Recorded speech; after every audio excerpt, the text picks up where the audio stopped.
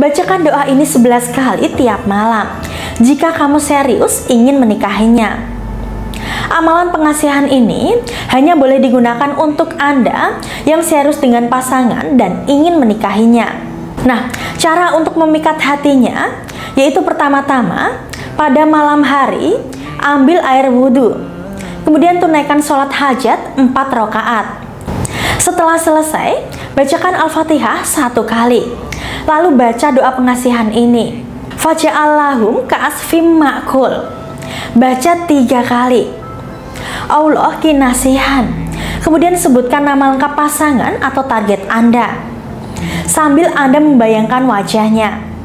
Anda juga bisa tambahkan usaha batin menggunakan sarana mustika pelet tali AC untuk memikat dan mengunci hati target hanya pada Anda.